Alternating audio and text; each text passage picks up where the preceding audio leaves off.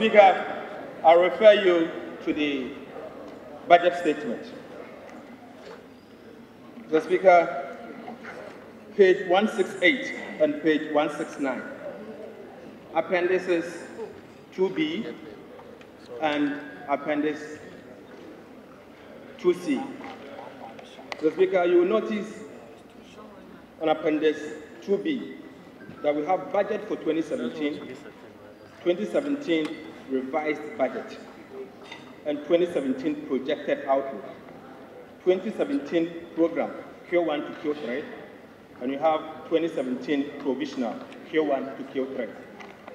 Again, if you are to come to page 169, same budget statement, you have here 2017 budget, 2017 revised budget, 2017 project, uh, projected outlook, and you have the projected Q1 to Q3 and the provisional Q1 to Q3.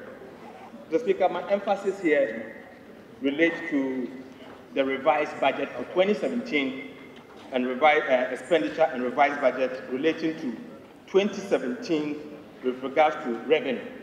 Mr. Speaker, clearly, what the Ministry of Finance has done here is they've revised the expenditure allocations without recourse to Parliament. Mr. Speaker, they have revised the revenue target without recourse to Parliament. Mr. Speaker, if I may refer you to the PFM law, Section 28. Mr. Speaker, with your permission, I'll read. The minister shall, not later than the 31st of July of each financial year, prepare and submit to Parliament a mid-year fiscal policy review. Two, the mid-year fiscal policy review shall include the following information. The Speaker, I'm more interested in the D.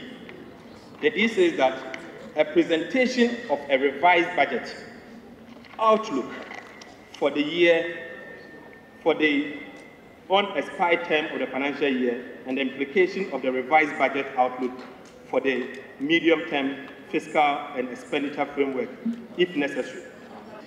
Mr. Speaker, based on this, Mr. Speaker, how can you revise a budget without the, the authority of Parliament? Mr. Speaker, in my opinion, this budget must be rejected and be withdrawn immediately. Mr. Speaker, this budget must be rejected and withdrawn immediately. Mr. Speaker, the minister responsible for finance, the minister responsible for finance cannot revise expenditures and, and, and revenue without parliamentary resolution. Mr. Speaker.